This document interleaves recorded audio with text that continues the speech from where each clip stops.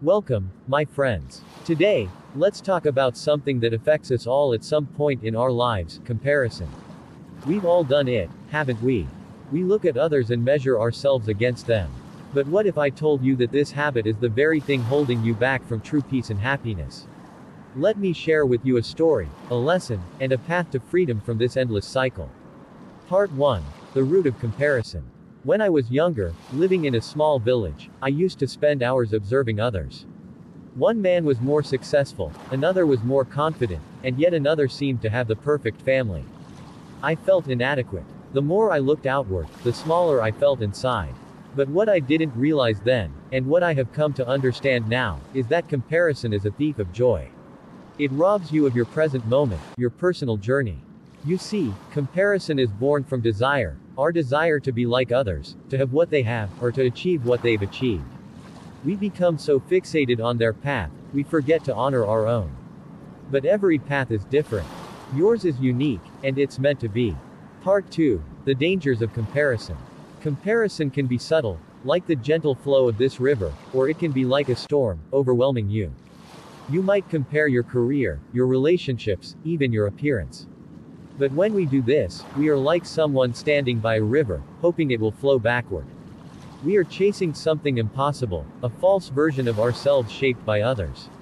Imagine standing by this river, constantly looking at others' reflections. How will you ever see your own? When you spend your time comparing, you neglect the beauty and value of who you are right now. And that's the key, your journey is meant to be embraced, not compared. Part 3 Embracing your own path. In the monastery, we often speak of right view. This means seeing things as they truly are, without distortion. And this includes seeing yourself without the lens of comparison. Ask yourself, am I moving forward? Am I learning, growing, evolving in my own way? If the answer is yes, then that is enough. You are enough. Your value is not measured by how you stack up to others, but by how you continue to walk your path. Every step you take, no matter how small, brings you closer to your true self. But to take those steps, you must stop looking around and start looking within. Part 4 A New Perspective. Let me tell you another story. There was a monk, much like myself, who struggled with comparison. Every day, he looked at other monks who were more disciplined, more enlightened. He felt small, unworthy. One day, his teacher noticed his discontent and took him to the top of a mountain. The teacher asked him to look down at the village below. What do you see? The teacher asked. The monk replied, I see homes, people, paths winding in every direction. The teacher nodded and said, Just as each path below is different, so too is every person's journey.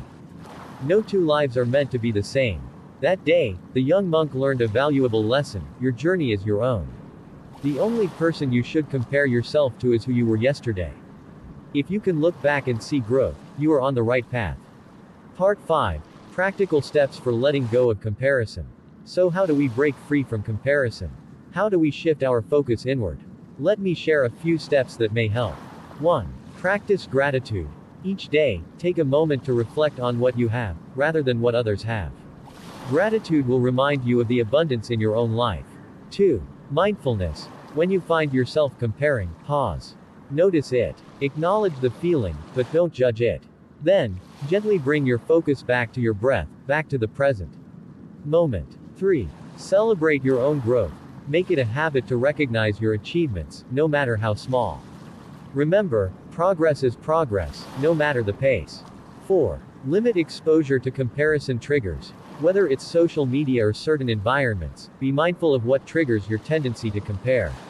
You have the power to step away. 5. Connect with your inner self. Spend time in silence. In solitude. It's in these moments that we hear the most valuable lessons, lessons from within. Part 6. Final reflection. My dear friends, life is not a race, nor is it a competition. It's a journey, a deeply personal, unique experience. And every moment you spend comparing yourself to others is a moment lost from your own growth, your own peace. So, as you move forward, I encourage you to be kind to yourself. Celebrate your own path, trust your own process, and remember, you are enough, just as you are. Thank you for walking this part of your journey with me today. Until we meet again, be mindful, be present, and be at peace. Subscribe for more mindful lessons from the mindful path.